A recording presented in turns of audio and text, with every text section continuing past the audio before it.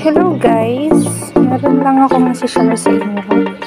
Um, bumili kasi ako sa Shopee ng mulberry cuttings. So, ito siya oh. Yan.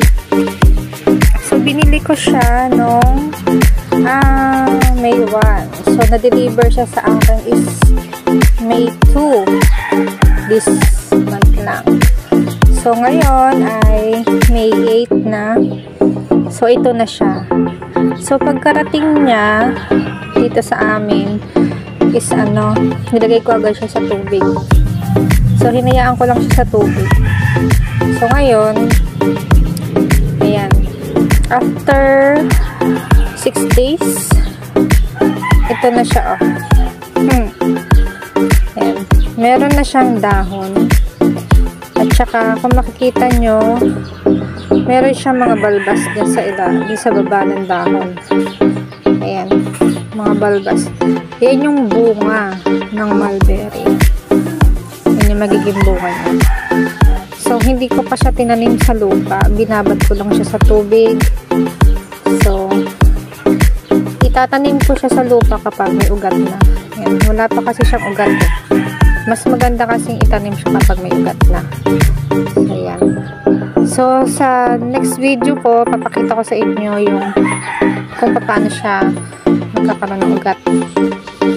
Ayan. So, for now, habang maliit pa yung mga dahon niya, is babad ko muna siya sa tubig. Ayan. So, ang dami niya. More than kulang-kulang 30 pieces siya. Pero yung nabili ko sa Shopee, one ano lang siya, 15 pieces daw na cuttings is worth 100 pesos. Pero yung dumating sa akin, sobrang dami. Thanks to, thanks sa ano, sa seller ng Mulberry.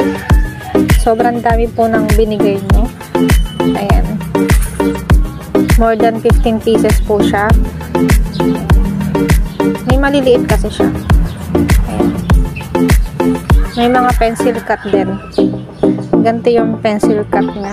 Maliliit lang. Pero, imagine in fairness, oh.